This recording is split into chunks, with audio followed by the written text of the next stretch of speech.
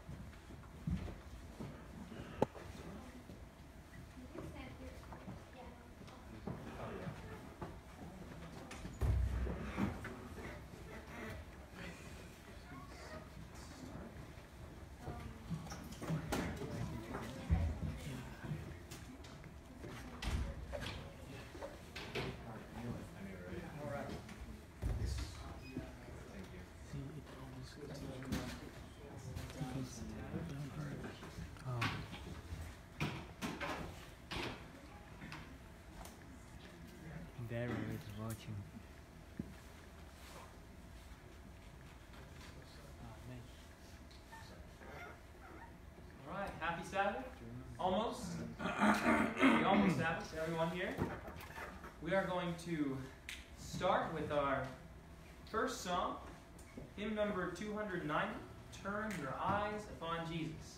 I pray that this is not just something we sing right now, but this is something we can do all Sabbath long and all week long, right? Let's sing 290.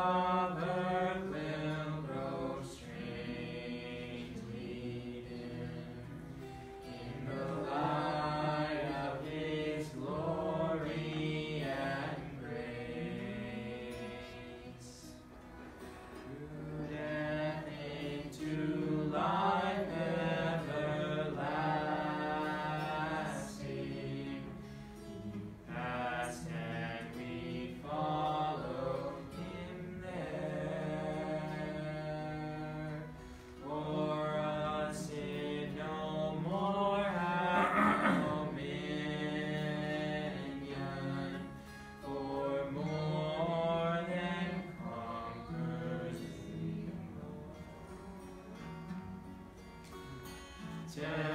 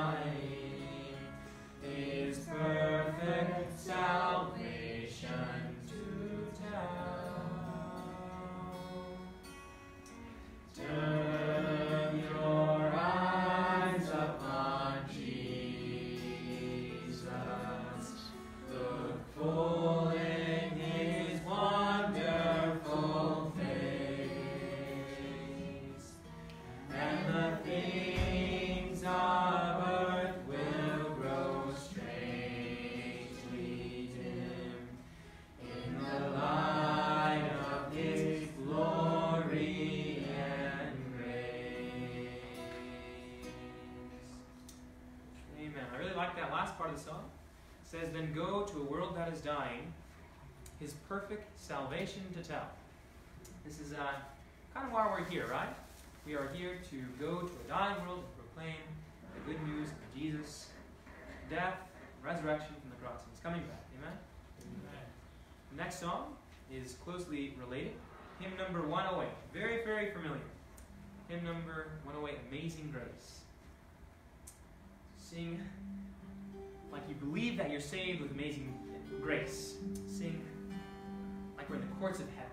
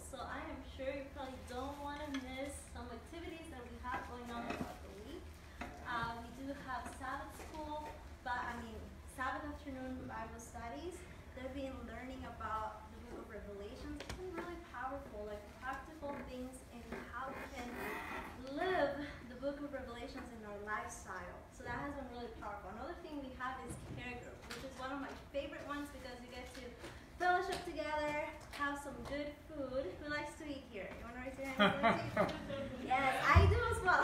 so you want to make sure to be there, and it's on Sundays from 6 to 7. And that's the address right there. It's right across the girls' store. So that's care group, and then we have prayer meeting. Prayer meetings are on Thursdays from 7 to 7.30, and that is at the School Shop in Google. It's been a blessing as well, and we have a really special announcement uh, for this weekend, and I want to invite Nicole uh, to come up here and tell us a little bit more about this special event that's about to happen, and Sam as well.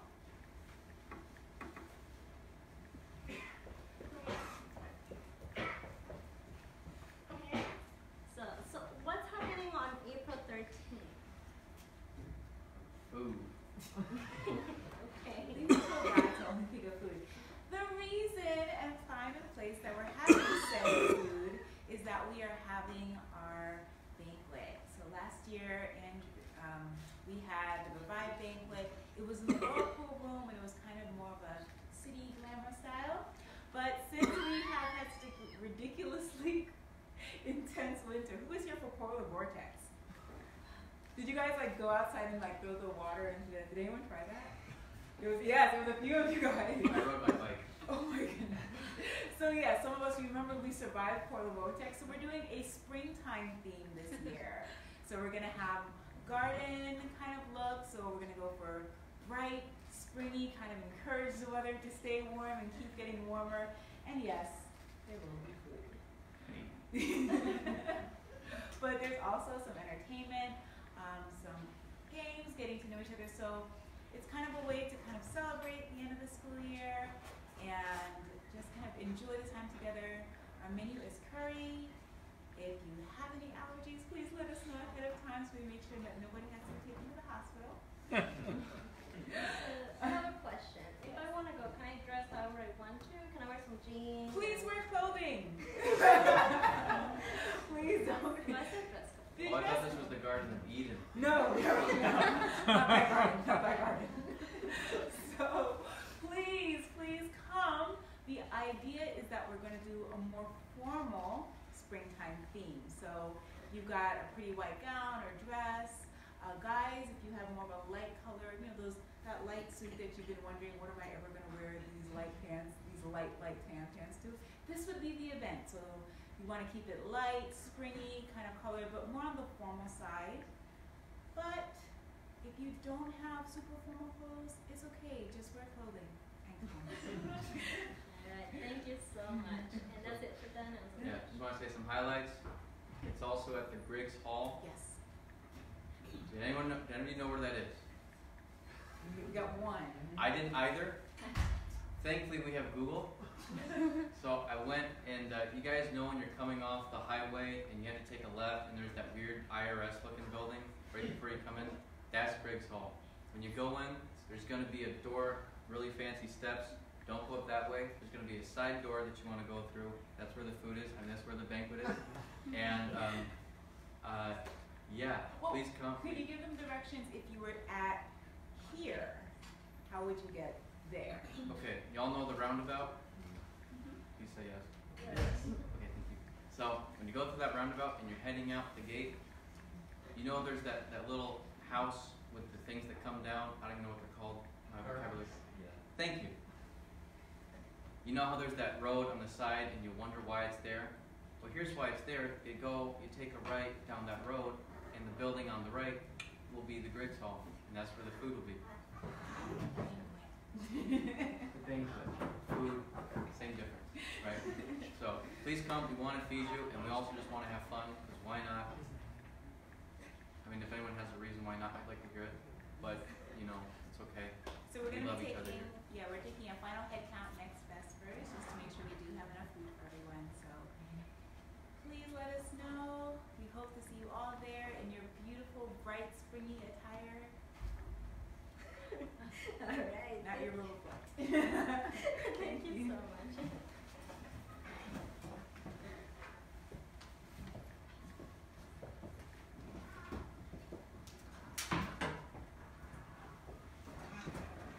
Good Revive. Happy Sabbath. How many of you have been blessed by this ministry? Mm. Awesome. How many of you have been blessed by Vespers, but also all the other cool events that go on during the week? Awesome. Same here. I've really enjoyed all of it, and including looking forward to the banquet coming up. as while many of these activities are provided free of charge to all of you guys, as you well know, at least in this current world, money does not grow on trees. I think maybe the tree of life over the by heaven will have some, but it does not currently. So, um, as you may have guessed, is the offering time, and if you have the ability and desire and are eager to share some financial blessings with this ministry, this is the time to do it. And you know, let's let's have prayer. Dear Lord, thank you so much for this Sabbath. Thank you so much for this ministry and the ability, all the abilities you've given us. I pray for this offering, both the, offering that will be financial, but also the offering that that is given by people's presence of being here, of a smiling face, of being a joyful Christian. I just pray that you would give us all the ability to share an offering in some way our lives. In Jesus' name I pray. Amen. Amen. Deacons will wait on us at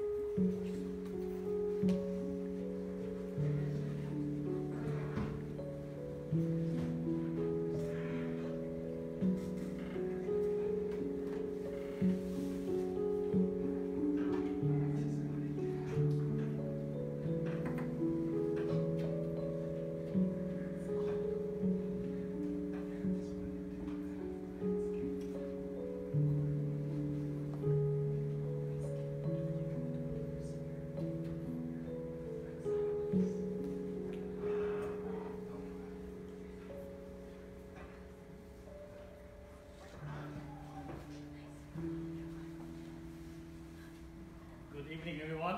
Good evening, everyone. Uh, before I, no, I'm not going to give a message. Uh, Why not? how many of you are thankful for the week? um, I am so thankful I was able to manage to deliver my first message in the class. It was very hard for some of seminarian because I use first sermon message, first person mes- uh, sermons, which is I put myself in the story. So it was the hardest sermons, and but I'm thankful.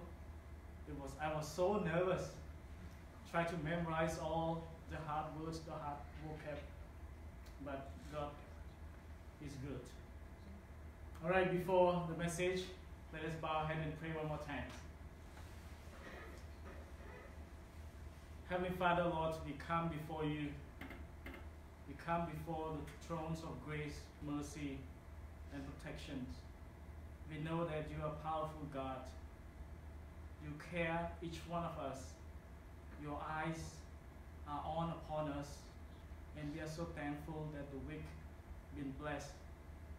Lord, we ask that as the Sabbath is here, we pray your Spirit will guide us, help us to look upon the things that will grow, that will help us to grow in love with you and to love you even more. We ask that you will send the Holy Spirit to be with each one of us as we prepare our hearts to hear your message that will speak through your servants, AJ. We pray all these things in Christ's precious name. Amen.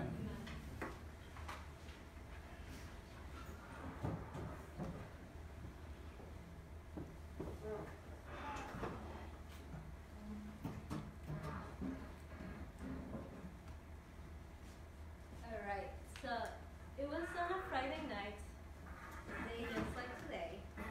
I was sitting right in the back trying to make sure everything is okay because I am an officer in Revive and just making sure everything was good. And out of nowhere, I get a little tap on the shoulder and this person says, Hey, what is your name? How are you doing? And you know, sometimes you hear that over and over, but for somebody, it's it's kind of it could be unusual for somebody to get out of their way to say hi to you and making sure that you're okay. And so that really meant a lot to me. And his sincerity in like in that question, it was really, really interesting to me too, because I could tell that this guy was really, he really cared. He wasn't just asking just to ask, he really cared. And ever since then, I've always seen this person going around um, asking people if we want to help.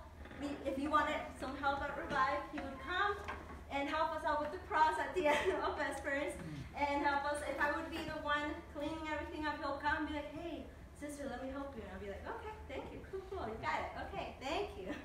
And and we've been really blessed to have this brother uh, with us in Revive.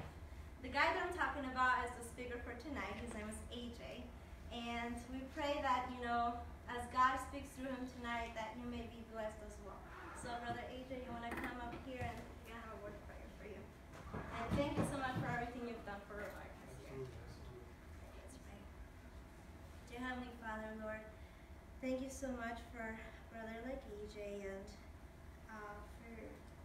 being such a nice, caring person, Lord, for this ministry.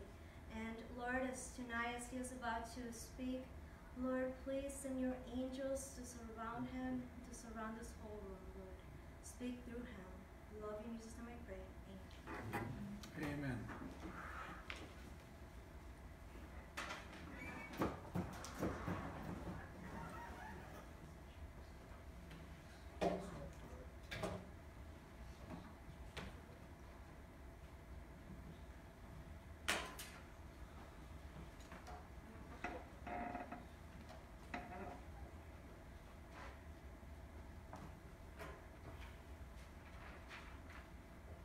Happy Sabbath.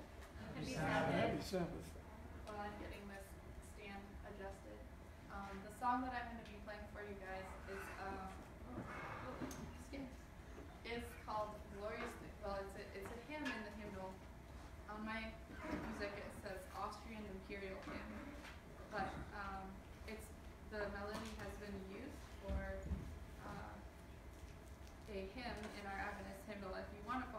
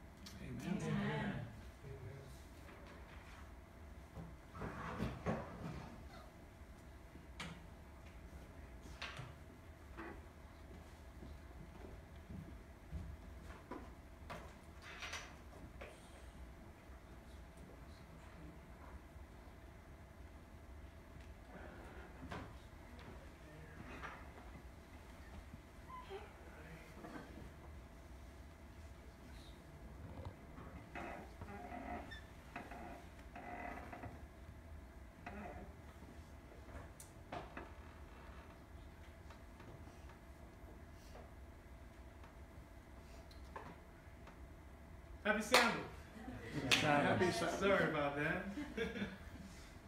you know, I'm so blessed to be here right now. Every single day I have to live is a marvelous, wonderful blessing for me and for us all. Can we say amen? Amen. Amen, amen. Well, you know what? Today we're going to focus on an important, very important topic for all of us, and that is freedom. A lot of us hear that word all the time, freedom. But what does that really mean? What is true freedom in Christ? What is true reconciliation in Christ? A lot of us, we think freedom is just, you know, okay, we, we got a nice flag here, we represent what we believe, but is it really deeper than that? Is it more internal than just external? So we're going to find out what true freedom is in Christ. Um, and how can we truly experience that real freedom today? Not tomorrow, but today. So we're going to find it out. But before we go into the message, let us pray and let us seek God to um, embrace true freedom in Him. Let's pray. We just want to say thank you, Lord, for all you've done. You came, you died for us, and we are here because of you, because you love us so much. We pray that we may, we may embrace true freedom in Christ today, that we may be reconciled to you, Lord, and experience that peace that passes all understanding. We thank you, we praise you, and we love you in Jesus' name. Amen. Amen. Amen. Anyone here want a dollar? I'm serious. Anyone here want a dollar? Think I'm playing? You have to come and get the dollar. If you want it, come and get your dollar. If you want it, come and get your dollar. Amen. Hey. Amen. Well, I'm here.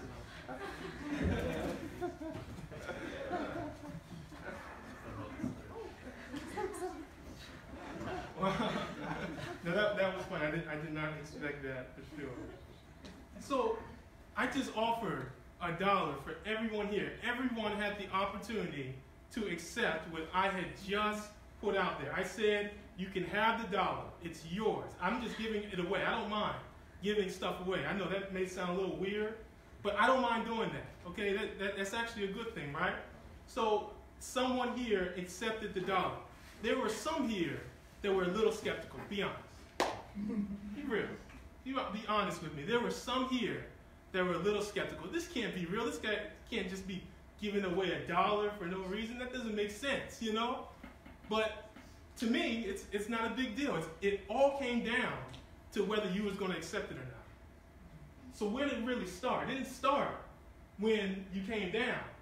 It started when you heard the proposal. That's where it started. So either you believed, and you, well, if you really believed, you would actually come up. But, but there were some, there was one person that said, no, I believe that that dollar is mine. and so she came up here, and she accepted the dollar. It came down to whether she was going to accept it or not. But it was for everyone here if you wanted it. It was your choice. You know, the amazing thing about true freedom true freedom is really about a choice. It's a decision. Many of us look at freedom as an emotion. It's not. Real freedom in Christ is a decision. But we can choose every single day and say, well, God, this is too good to be true. I'm not going to accept that. I don't believe that that's going to work out. But if we really have faith, what are we going to do? We're going to accept, right? We're going to accept that freedom. Well, you know, there are people that had freedom right there. They had it in their grasp. They had true freedom, but it was tough for them to accept it based on where they were in their situation. They were, they were used to being in slavery. They were used to being in bondage. So when freedom came out to them, it was, it was, it was too good to be true. This couldn't be real. And so please turn with me to Exodus 14 and 10 through, 10 through 13. Exodus 14, verses 10 through 13. We're going to look at, you know, what's, what's going on in their minds. Why, why are they uh, responding the way that they're responding? So we're going to look at this situation. Now, we, most of us know here the, the, the, um, the story here. Um, in this situation, they are on their way to the Red Sea. They're walking to the Red Sea. But, but something happens. Something happens that gets their attention. So let us look at this scripture here And because I, I like for all of us to, to get involved. I just need some readers. I need readers for 10, I need readers for 11, 12, and 13. 10? Anyone got 11? 11. 11? Okay. 12? Anyone? Uh, um, it's it's uh, 10 through 13. So we have 10, we have 11. 14? 12? 14? 12. So who, who has who has uh, 12? Okay, 13? Yeah, 13. Okay. So let us let us start in verse 10. We're gonna we're gonna look at this scripture. So our reader for verse 10, please read for us. As Pharaoh approached, the Israelites looked up, and there were the Egyptians marching after them. They were terrified and cried out to the Lord. Amen, amen. So let's stop right there. Pharaoh drew, drew near, drew nigh. The, the children of Israel lifted up their eyes, and behold, the Egyptians marched after them. And they were sore afraid, and the children of Israel cried unto the Lord. First of all, they are afraid. it got their attention for sure. Amen. It truly got their attention in that situation. You know what's amazing? God will allow certain situations to come into your life to get your attention. Some are very silent. But God will allow certain situations to come into your life to actually get your attention. They, they lifted up their eyes. Now imagine they're on their way. Did that actually get their attention? That, that Pharaoh was on his way to get them? Were they really embracing what God had promised to them? Or them going to the promised land? They really embraced that in their hearts? Or what actually got their attention was that, oh, they're in trouble. That's what got their attention. It wasn't that they were on their way to the promised land. What got their attention was that, oh, something bad is about to happen. That's what got their attention. One thing we need is not to embrace the problem, but we need to embrace the problem solver. Amen? Here, here. A lot of times we're so afraid of the situation that's making us so uncomfortable, but God is only allowing those things to actually get our attention to embrace Him more because we can become so comfortable. We can come in, we, be, we can be in our comfort zone in our minds and think, oh, well, everything is fine, everything is good. But you know what's amazing is we praise God the least when the tough times are happening. That's the trouble. Yeah, we pray. We, we, we actually we say nothing about God. We don't praise God. We don't pray to God when tough times are coming our way. But as soon as things go well, praise God. God is so good. God is so wonderful. The amazing thing is, true true freedom isn't dependent on the, the circumstance.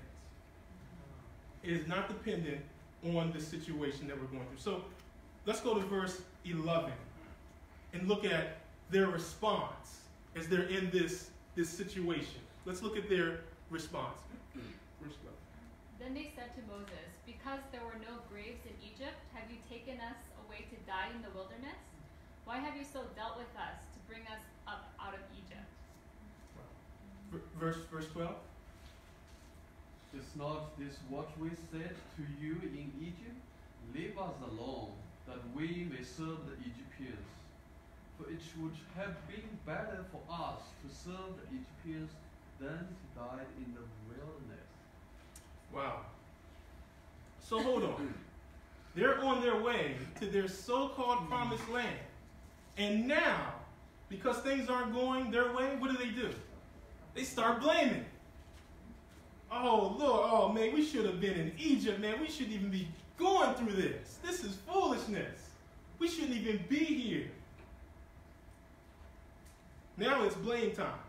It's not about that I'm even in this situation that's freeing me. I'm just I'm just upset about this circumstances. Now I'm going to blame God. One thing I know, one problem I, I see within the church um, as a whole is a lot of finger pointing. It's a problem.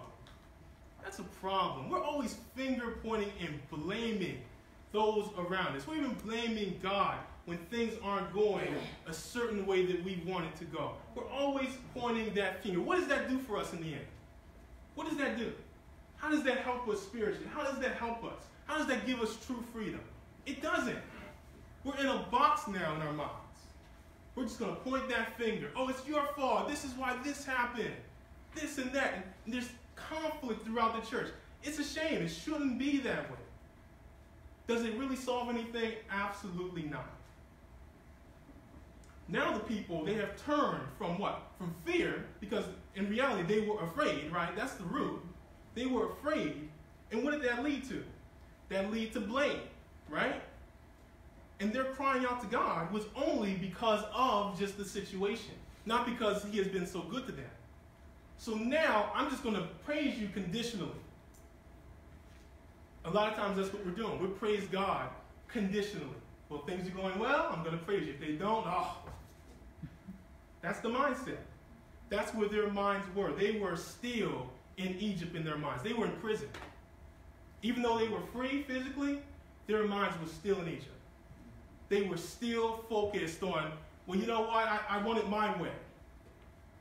When they couldn't even embrace the blessing that was there, right there at their hands. It was like there was a, a million dollar buck that was given to them. Said, hey, here you go, you can take it. But they just said, no, no, no, I'm a little uncomfortable with that.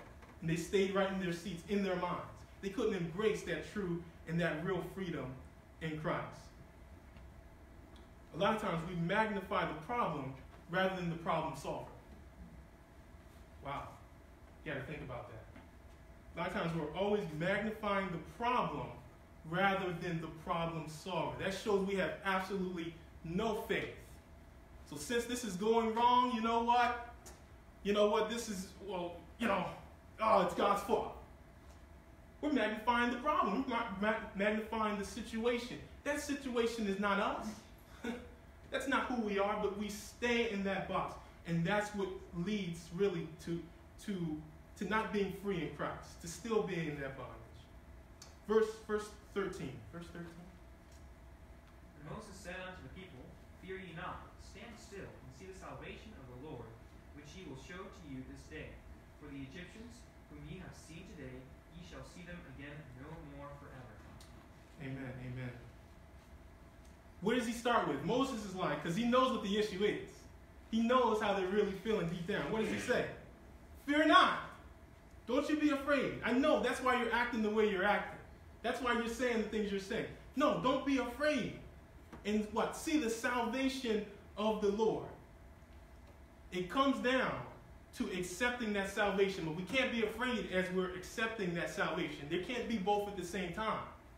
We have to be confident. We have to be we have to have that faith in him that says, hey, no matter how the situation is going right now, everything is not going my way, but that's fine with me because why? I'm already free. I'm already free. So whatever happens to me, it's okay.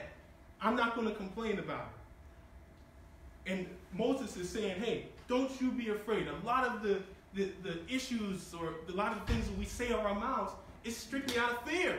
A lot of the things we say out of our mouths is really out of fear. What's going to go wrong next? And we stay in that same mindset. That's what hurts us. That's what truly hurts us. As we go down to verse, verse 13. For the Egyptians you have seen today, ye shall see them again no more. The Lord shall fight for you, and ye shall hold your peace. God has it all under control. He's saying to the people, don't focus just on what's not going well at this time. Don't focus on that. He's already brought you out, out of that jail, out of that prison. Why are you so afraid? Even though it doesn't look good. Don't focus on that. Hold your peace. Have that peace that passes all understanding, but not dependent on your circumstance. And he wants the people to truly believe that deep in their hearts. What does the Lord say? Uh, 2 Timothy 1 verse 7. For God has not given us the spirit of fear. What? But of what? Power. What? Love. Love and of what? Sound mind. Sound mind. He says, hey, I haven't given you the spirit of fear. Don't focus on your situation. I have not given you that. I've given you the spirit of what? Of power, even in your, your toughest situation. I have given you love, even in your, your circumstance. And I have given you a sound mind. You don't have to focus on what's going wrong. You don't have to focus on that. Why? Because I'm the one who's already set you free. And that's what we must embrace every single day for the experience true freedom.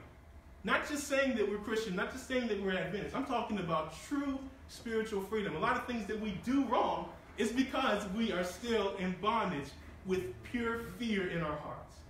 And that's what God is trying to help us to overcome today. So, what in the world is true freedom? Well, one of the things we're going to find out is what freedom is not. A lot of us think freedom are certain things, but we're going to find out exactly what freedom actually isn't. The first thing that freedom is not, it's not the license to do whatever you want. Okay? That is not freedom. Okay? If you think that, okay, because God has set me free, now I can do whatever I want to do, it's about me. No, that's not freedom. You are still in bondage. You are still in bondage in your mind. Think about this. Think about if you're riding down and you're, you're driving your car and you're speeding. You are breaking laws, okay? You're breaking laws and you're endangering yourself and people around you. And the cop comes and you hear those sirens, right? I bet you're afraid then, huh? Bet you're real scared then. But you hear those sirens, you're like, oh, oh man. And you got to stop, right? When the, when the police comes, think about this. What if the police came and said, hey, you know, you're breaking that law. You're doing wrong. Yeah, I know. I'm sorry. I know I got to pay this ticket. Yeah, I know. And the police says, you know what? I have a ticket here, but I'm going to pay it for you. Oh my. I'm going to pay the ticket for you. You're going to be under grace right now. Mm. I'm going to pay this ticket just for you. What is your reaction then? You're, you're grateful, right? You're grateful. You're very, you're very thankful. But does that give you the license to go out and to start speeding again? No. No, absolutely not. You're not under law in that situation. You're under grace. But it doesn't mean you're to go out now to do whatever you want to do. Right? When you go ahead and you say to yourself, I'm going to go ahead and do whatever I want to do, that shows you didn't accept the grace that was given to you day one. That shows you don't accept what, what the officer just did for you. Now you're saying, I can do my own thing. It's about me now. Yeah, I just got off. And you know what you're doing? You're putting yourself at risk. That's what you're doing. You're putting yourself at risk and others around you. So we're gonna so real freedom is not the license to do whatever you want to do. Okay? Another thing that freedom is not, it's not entitlement. Okay? You're entitled for nothing. Just know that. I'm being honest, talking to myself. You are entitled of nothing. Everything that you have is a pure blessing from God. You are entitled for nothing. Okay? So thinking that, that freedom, that, that, that, okay, well, yeah, I, I, I accept Christ, so now I'm entitled to get this blessing or to get that. Or get, no, you ain't. No, you're not. Everything is a pure gift from Him. We should just be saying thank you because I'm not worthy of that. I've broken laws. I'm a sinner. And you have given me this blessing. I need to accept that blessing. So, freedom is not entitlement. Okay? Another thing freedom is not it is not dependent on your situation. True freedom is not dependent on what you do or don't have. I want you to know that. Because some what we're going to do is we're going to compare our life to everyone else around us. Well, they got this, so if I don't got that, Lord, it's, your fault. Is that right? It is not dependent upon what you have. True freedom is not something that you can just touch your feet. It's spiritual. It's deeper than that. It's deeper than money. It's deeper than a big car. It's deeper than, than a nice house. It's deeper than all that. You are in, you are not entitled for anything. And so you're not dependent. You're not dependent on the situation to make you really free. That's I, I really believe we need to remember that. Freedom is not centered on titles or possessions. It's not centered on your money. No, it's not. You can you can have all those things and still be in bondage in your mind. You still can. You can still be in that sin in your mind, even with all those those nice things.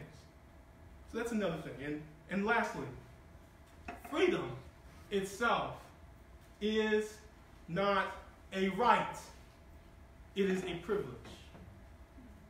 It is not a right, it is a privilege from God.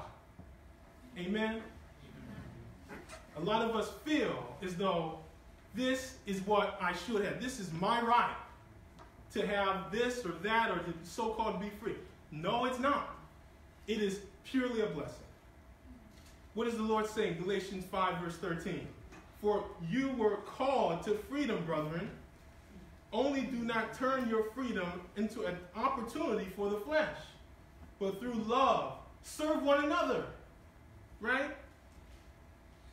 Galatians 5, verse 1. Stand fast, therefore, in the liberty wherewith Christ has made us free, and be not entangled again with the yoke of bondage. Stand fast, be established. Don't be all over the place mentally. No, stay established in His word, stay established in His truth, that you may experience real liberty in Christ. So that we may break those yokes of bondage, bondage in our hearts. For some of us, the yoke of bondage is, is our past. I know there's some that have some difficult past, but you can't leave that on you because it's going to slow you down. It's going to slow down your progression spiritually. Those things cannot be your end all in your heart. No, you have to cut those things off if you're to experience true freedom. And that's what Christ wants for us. Because there's a real yoke of bondage upon us, and that if it's still in our hearts, it's going to be hard for us to really, truly accept what He has done for us. One thing I truly love about God's Word is that He gives us, He always gives us a solution. He knows our hearts, He knows where we are, He knows what we're frustrated about. So He says, you know what? I'm going to give you something that you need. And this is something for all of us here today that we all need. We need a so called Declaration of Independence. You ever heard of that? You ever heard of the Declaration of Independence? You ever heard of that? What does that really, what is that, what does that show? True, true independence, true independence is really centered in God's word and his promises. Amen? So I'm going to go to the Declaration of Independence right now. Let's go to Exodus 20.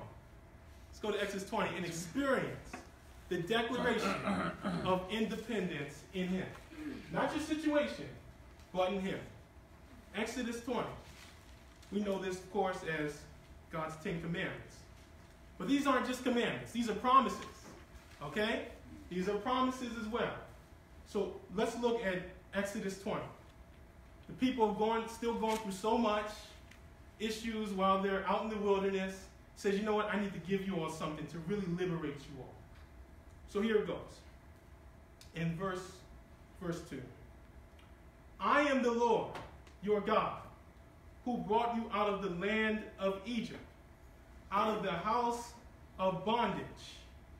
Thou shalt have no other gods before me. Stop right there. What does he say? I'm the one who's liberated you. I'm the one who has got you out of prison. I'm the one who has taken away those burdens from you. I'm the one who's done that. I've gotten you out of that land of Egypt. Some, because they were still, their, their minds were in Egypt, it wasn't even bondage anymore in some minds. In some people's minds, it was actually their freedom. So slavery was their freedom in some of their minds because they were so used to it. They were comfortable. They were in their comfort zone. And God is saying, no, no, that place is a house of bondage. I have something so much better for you. I have true freedom that I want you to experience. So you know what? Since you are going to experience me, have no other gods before me. I have to be first. The Egyptians can't be your, your, your, your help in this situation. No, it's not them that's going to back you up. It's me. You were actually in slavery, but in your minds, you got way too comfortable. Now, it's about first having God as the first, as your true God in your heart. That's where it starts. To get out of that house of bondage in our hearts, we have to accept Christ. Amen? Mm-hmm. Some of us, we say we accept Christ, but in our daily actions, that can be farther from the truth. That can be truly far from the truth. So, it takes that every single day to first start, hey, I'm not going to have any other gods. I'm not going to have any other things in my mind that's first and foremost that I may be delivered out of this bondage within my mind. Second,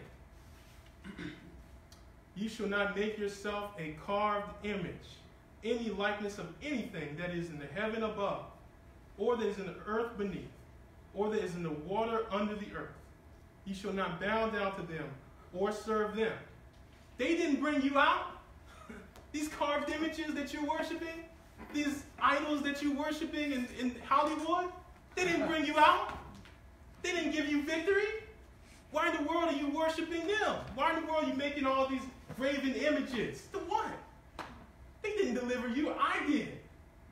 You go ahead and you worship me. You choose me first.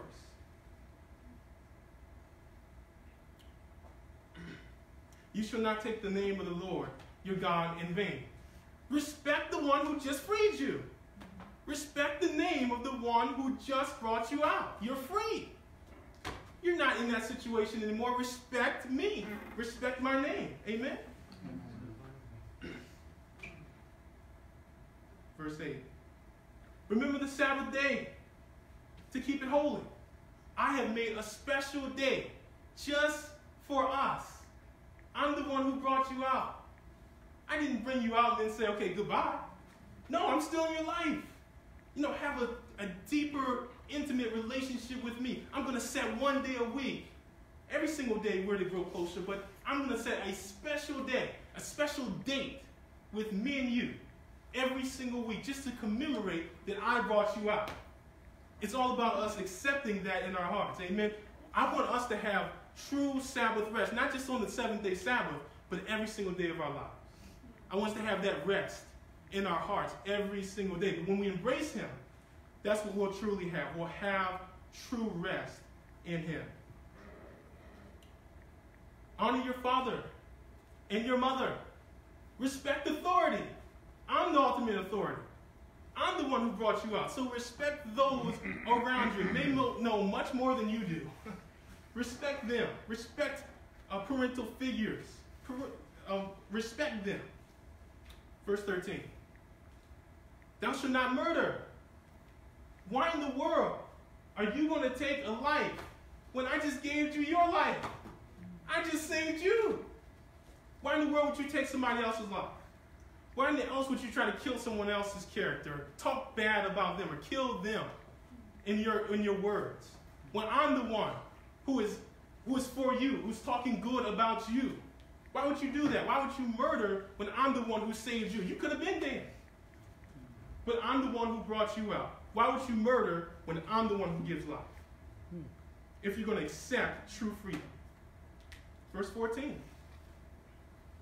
Thou shalt not commit adultery.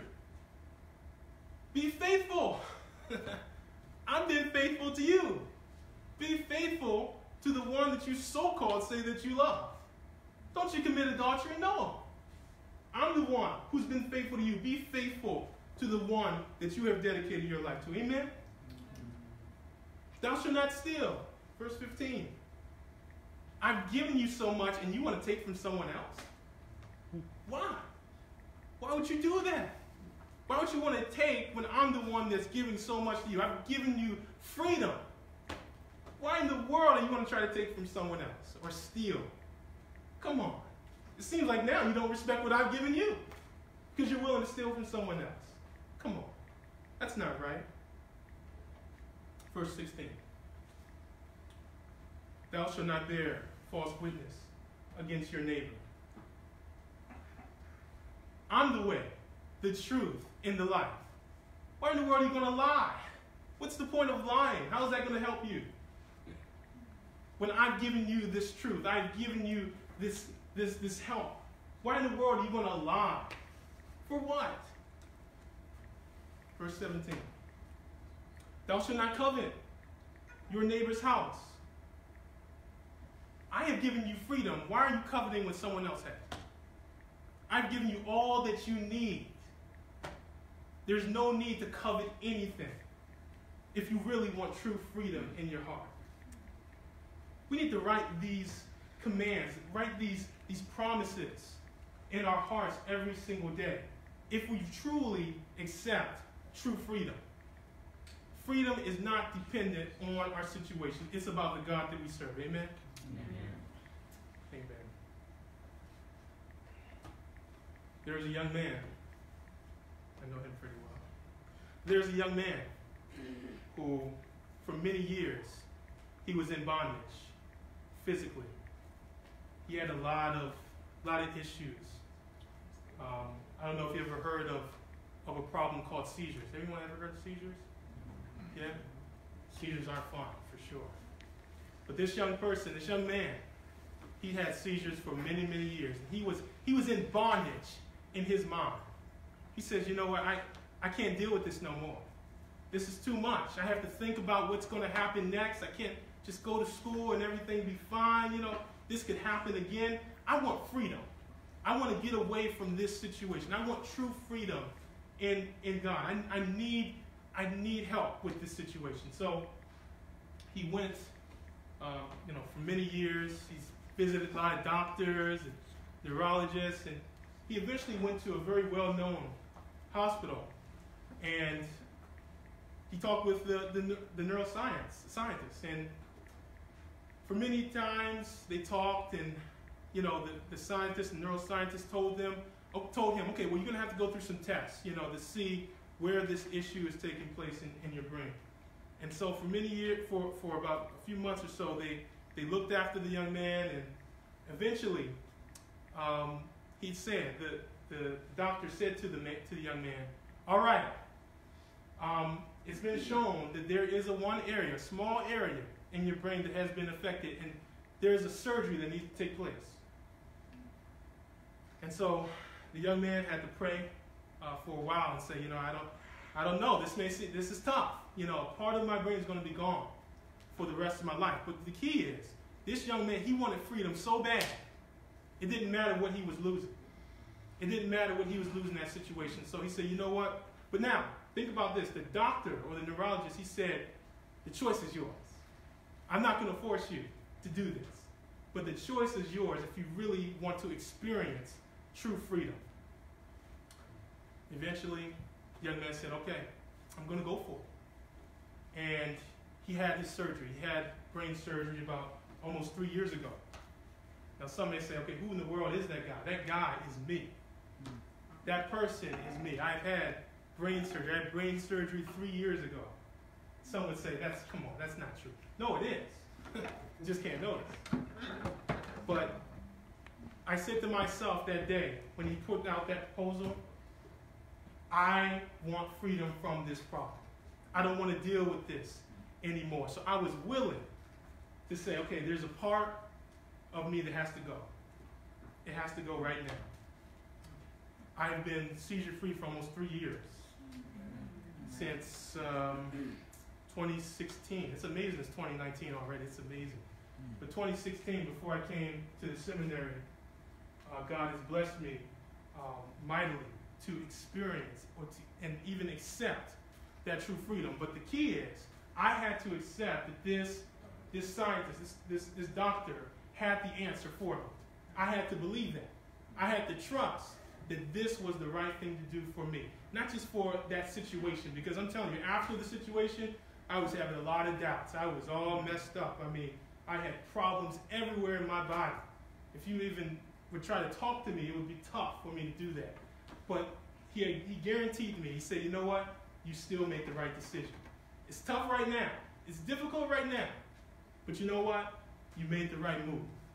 And you're not going to have to worry about what's going to happen tomorrow, what seizure you're going to have tomorrow. It's not going to happen again for you. You know what? He was right.